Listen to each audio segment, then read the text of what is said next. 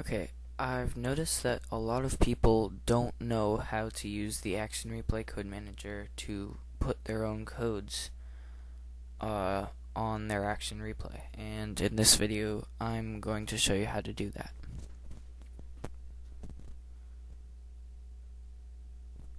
And using HyperCam slows my computer down a lot, so sorry about that.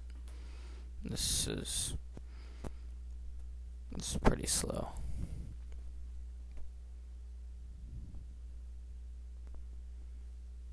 Okay. So the first thing you want to do is make a new code list under my code list and you click the star. It's right there. And then you can rename it as whatever you want. I'm going to call this one um, demonstration.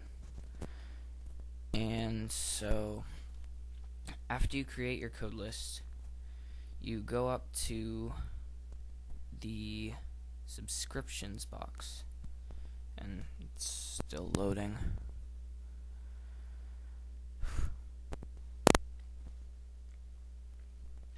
Okay.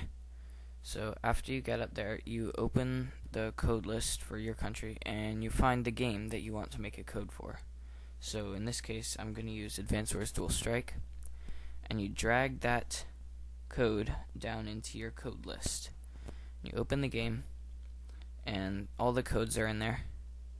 And then you go back up, and you right click on it, and go down to where it says create new cheat, and create one, and then this window will come up, and you can name your code, and my cheat, whatever right? And then you would put the code for your for that cheat right there.